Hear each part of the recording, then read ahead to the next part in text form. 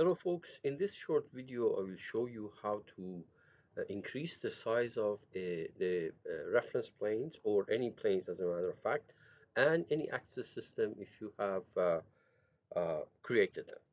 So uh, let's take a simple situation where for example in 3D experience in 3D experience we have created a let's say a, we have gone to the CATIA either generative shape design or part design and we, have immediately we get a coordinate system over here okay? Uh, uh, which of course uh, the, the default reference planes are x y x z and y z. And i have created uh, actually an axis system x y z. And uh, these are too small. So what you want to do is uh, find out how you can make these things bigger so it's easier easier on your eyes. So what we need to do is to go to preferences and when we go to preferences, this dialog box opens up. and I'll talk about the similarities between what we are doing and what is done in the CATIA V5. It's like night and day, but uh, in the background, they're the same. So preferences, this dialog box opens up, and then we click on the uh, object properties. Okay, object properties. I'll walk you through an example in just a minute and this thing pops up 3D shape and in the 3D shape towards the end uh, uh, when you select that expand this object properties in the 3D shape you get uh, this at the very bottom says axis system display size in millimeters. And for example if you change this thing from I don't know maybe 10 the default 10 to uh, say 50 that's what you're going to get. It's a lot easier on the eye because with the other case, regardless of how much you zoom in, you're not going to get uh, any uh, these planes any bigger. But here you do. This is how you make them bigger. now, let me remind you how it's done in CATIA V5 if you are a CATIA V5 user. So here is the reference planes and too small. You go to options, tools options, and in the options, when you click on it, this thing pops up and you go to uh, you go to uh, infrastructure. Infrastructure.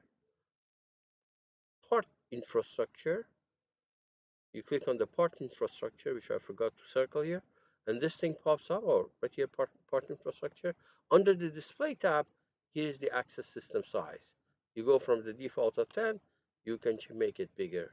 So let me show you how uh, how this is uh, done so uh, let's go ahead here and uh, uh, uh, I went to the part design but it really doesn't matter. Uh, so uh, right now we go to tools not tools sorry. You go to the upper right corner. Preferences you click on it and this thing pops up. So what I'm showing you now is actually preferences. This thing pops up right And if this is not expanded, you can expand it. Object properties, 3D shape. And notice that these may be collapsed, so you can uncollapse it, expand it. For example, if you say collapse all, you don't see anything. So either you uh, go from here or expand all. Okay, and here is your axis system uh, size. Okay, so let me change this thing. No, let me remind you that with 10, this is what you got on the screen. And even if I zoom in, that's not that's not going to change. Let me actually uh, change this thing to, for example, 50.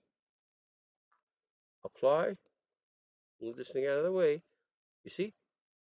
And uh, let me close this for a second. This is at 50 right now. Suppose I created a, uh, an axis system. That same rule, uh, making it bigger, applies to the axis system also. All right. Now, if you want to put it back to 10, once again, you go to upper right corner, preferences, and instead of, uh, uh, I don't know, maybe uh, go back to put it back to default 10. Apply and OK. There we are. Notice that even if I zoom in, this doesn't change. That's the problem. And uh, as I said, these uh, some of these are uh, these are not rocket science, except that it may take a long time. It may take you a lot of uh, time to find out how it's done because it's not, I don't want to say it's not properly documented, it's not widely documented. and uh, because of the pool of the 3D experience users, uh, even if you search it on internet, um, it's going to take a while you, you get there. All right, good luck.